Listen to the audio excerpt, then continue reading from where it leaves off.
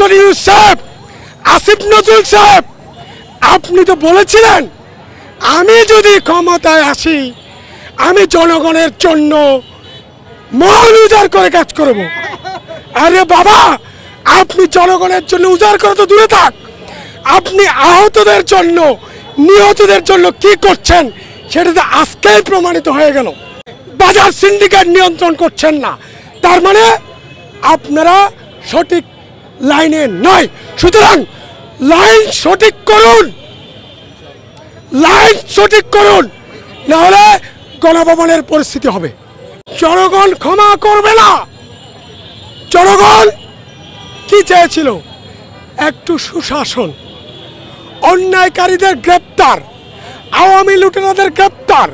পুলিশের মধ্যে যারা আমাদের ভাইদেরকে গুলি করেছে, গুলি করার নির্দেশ দিয়েছে কারা দিয়েছে?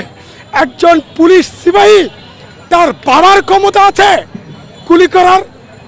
একজন পুলিশের এসআই, একজন পুলিশের এসআই এর বাবার ক্ষমতা আছে, ওসির ক্ষমতা আছে যে পাবলিকের বুকে গুলি করার। তাহলে তাদেরকে সে ক্ষমতা কে দিয়েছে? পুলিশকে ক্ষমতা দিয়েছে পুলিশের আইজি অফিস। এখন দেখছি যে আইজি অফিসের খুনিরা আমার জনগণের বুকে, ছাত্র জনতার বুকে গুলি চালিয়েছিল, তারা প্রমোশন পাচ্ছে। তাদেরকে শাস্তি দেওয়া হচ্ছে না। স্বরাষ্ট্র সচিব যে ছিল, স্বরাষ্ট্র সচিব এবং স্বরাষ্ট্র মন্ত্রণালয়ের যেসব কুলাঙ্গার সচিবেরা আমার ভাইদেরকে, আমার বোনদেরকে গুলি করেছে, শহীদ করেছে আহত করেছে, সব ধ্বংস করেছে। তাদের শাস্তি হয়েছে।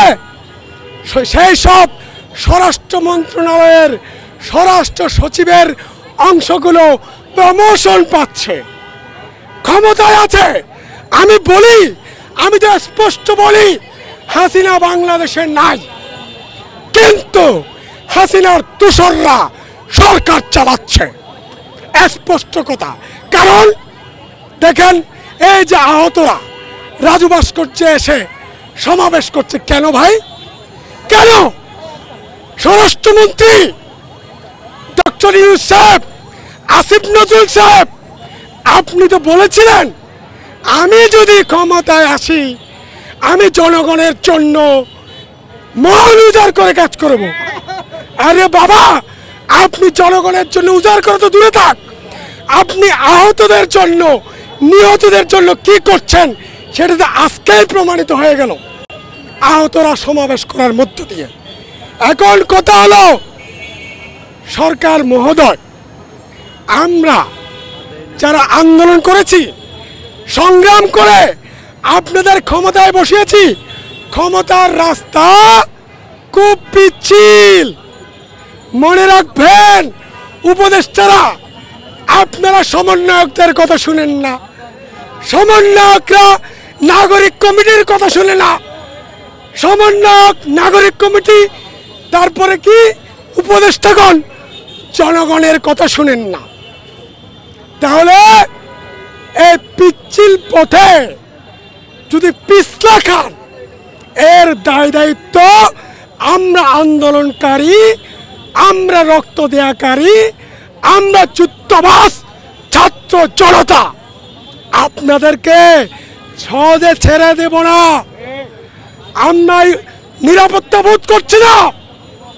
আমরা কেউ নিরাপত্তা বোধ করছি না এই সরকারের আমলে।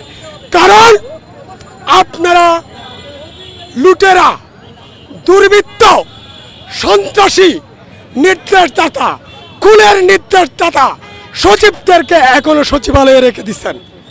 তাদেরকে শাস্তি দিচ্ছেন না, অপসারণ করছেন না। পুলিশের যারা অপরাধী তাদেরকেও শাস্তির আওতায় আনছেন না। বাজার সিন্ডিকেট নিয়ন্ত্রণ করছেন না। তার মানে আপনারা সঠিক লাইনে নয়। সুতরাং লাইন সঠিক করুন।